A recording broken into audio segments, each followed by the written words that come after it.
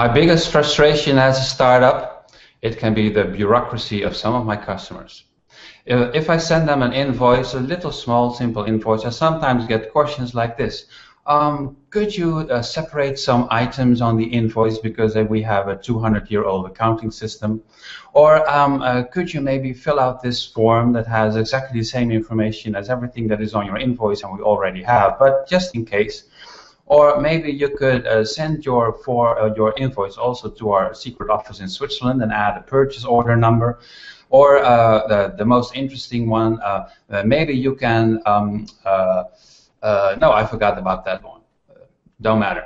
Uh, oh, maybe you can add your signature on our paper version, paper version, and add it in in blood or something like that. It is all very crazy. Anyways, this is Jurgen Appelo. This is episode six of, of uh, 15 minutes on air, and I'm going to, talk, to, going to talk about startups with uh, Laurence McCahill. Hello, Laurence. Hi there, Jurgen. Glad you're joining me. You are the founder of the Happy Startup School, isn't it? Yeah, that's correct. So uh, how can you how can you help me be happier with all the bureaucracy that I'm sometimes confronted with? well, yeah, I'm not sure I can really help with the invoicing issue, but um, I feel your pain. Maybe not being being written in blood, but I've certainly um, experienced that. Um, so yeah, I think well, as our name says, really, our ethos is is really about starting a business, but with happiness at its core. So um, we're trying to build a movement of people that want to do business differently and, aren't just focused on money as their sole objective, really. And so that's that's hopefully what I can bring to the table is one helping you with your startup, but two helping you define what, what happiness means to you. All right, that's great. And and I I looked at your website. It looks awesome. It has great design. Uh, I really like that. Um, and I saw you published a book or two as well. Um, um, and something that stood out to me was uh, the four P's. Um, uh, what were they? They were uh, passion, purpose, people, and profits. Um, I was wondering which of those should come first. Do you think? Is there one that should come first?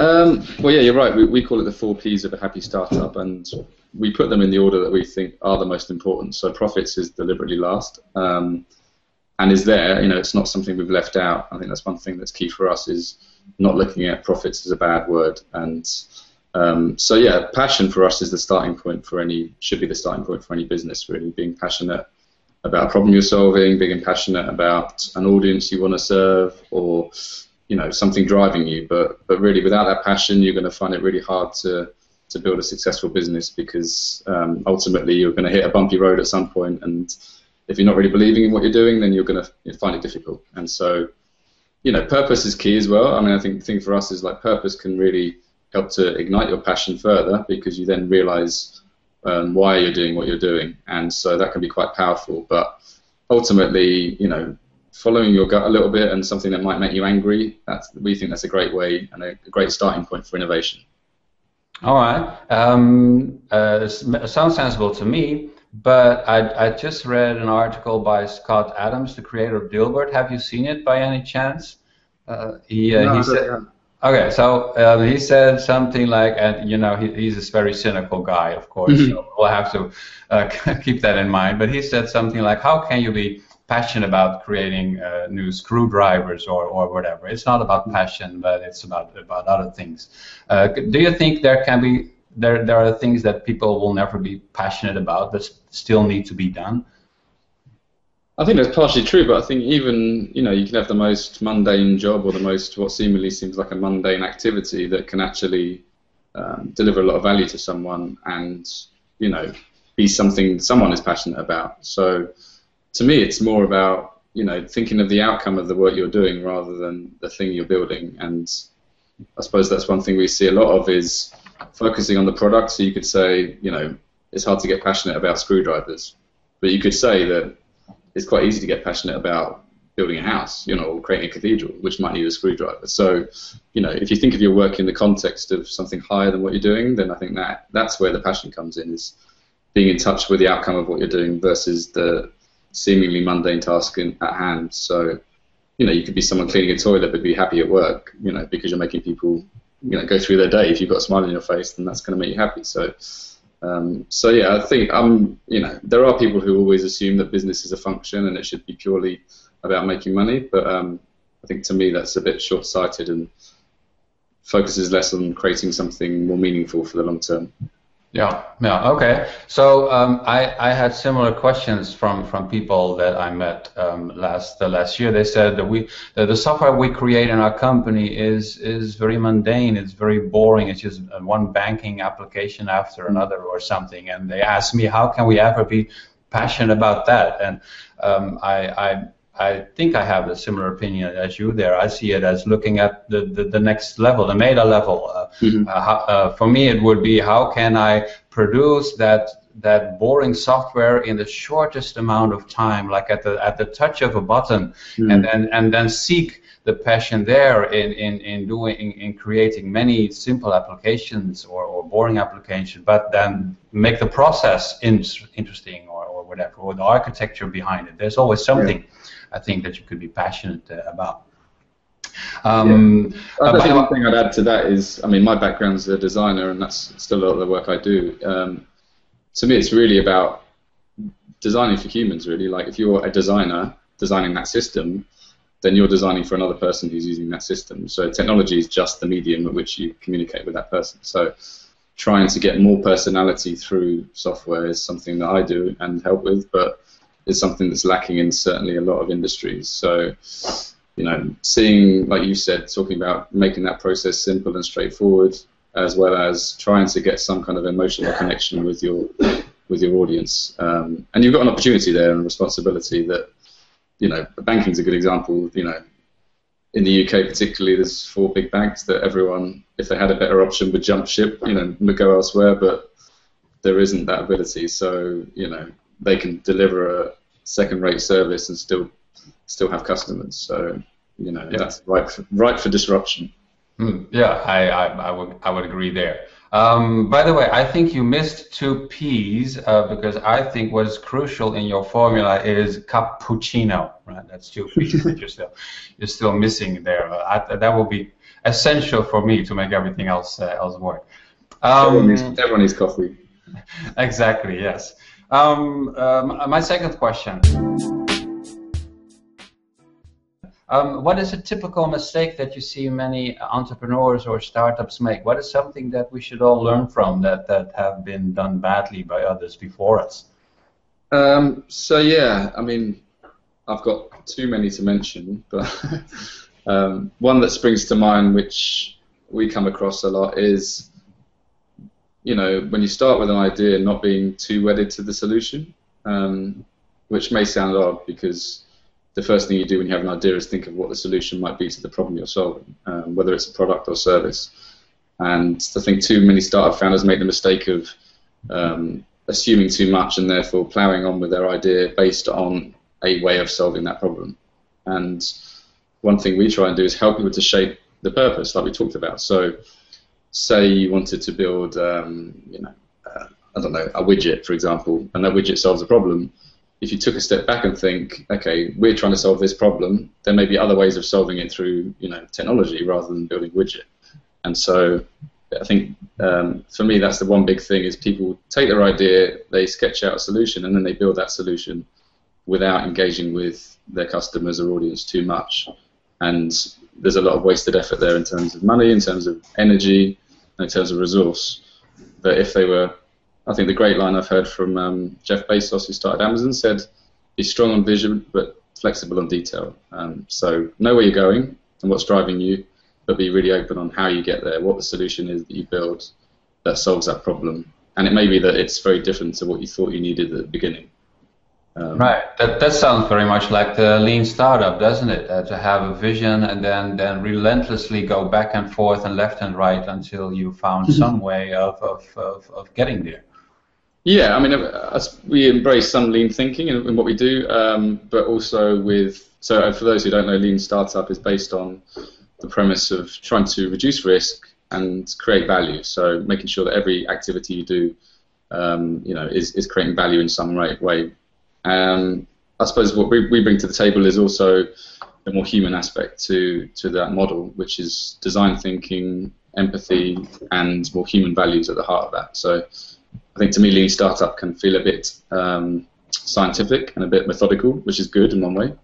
Um, but I think the thing it's lacking is thinking higher. And we talked about purpose. You know, why are you doing this? Um, where are you going with this?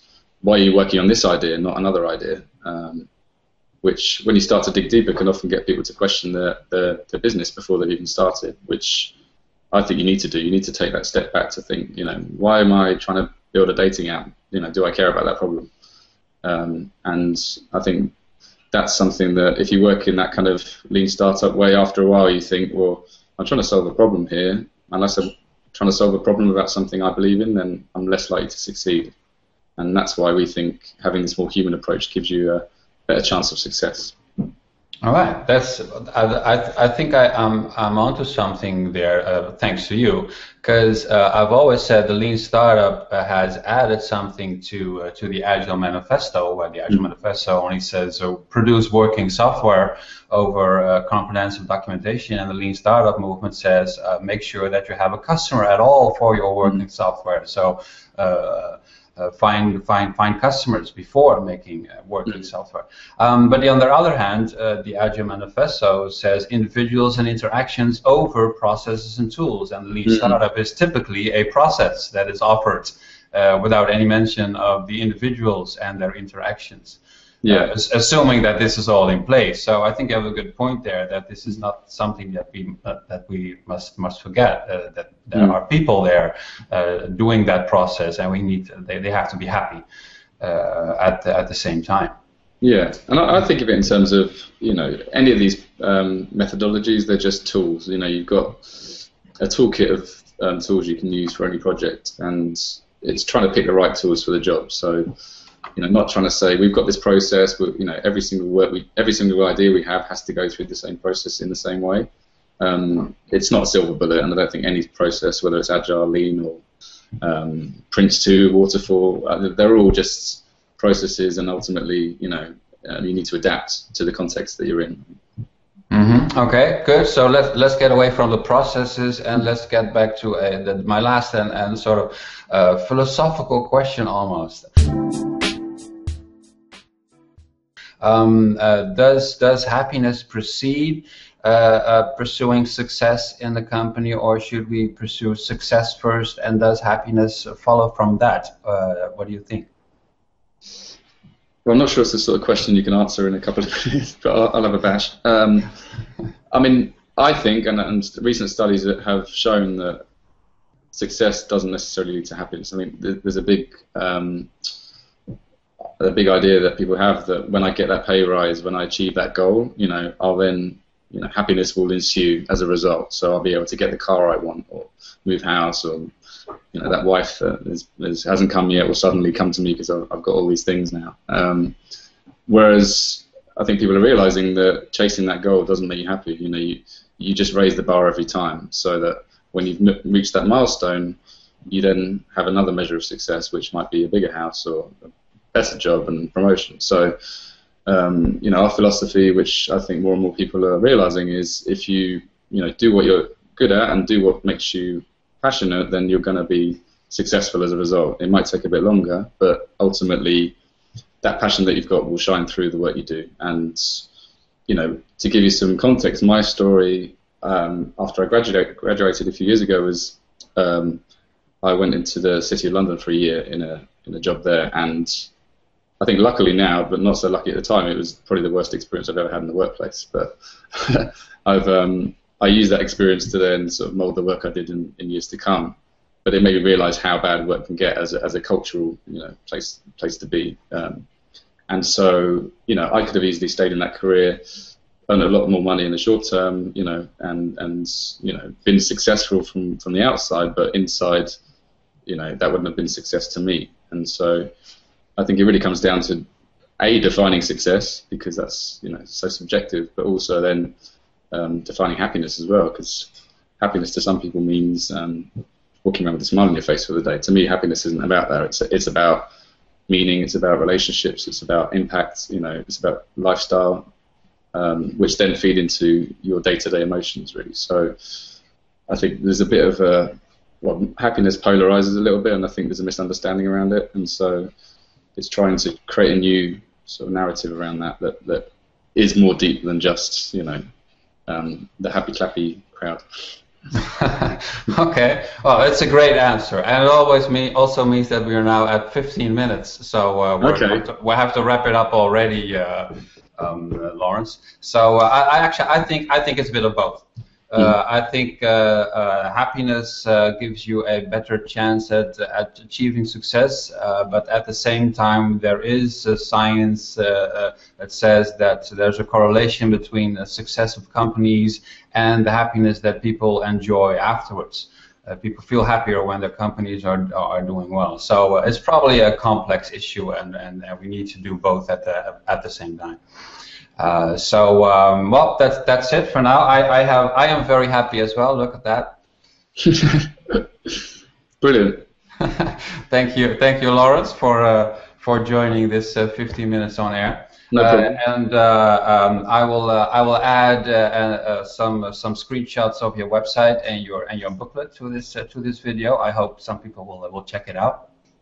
Brilliant. And uh, and I'm sure we will be in contact because uh, I, I want to talk more about the happiness because Happy Melly is very interested in, in being happy, and the Happy Startup School as well. So I think we can uh, we can do a couple of things together uh, there. So uh, thanks again. Okay, thanks again. Good. So thanks everyone for watching, and uh, maybe I will be back after the holidays, Christmas and New Year's, with the next video. That will be episode seven. Take care. Thank you very much. Goodbye, world.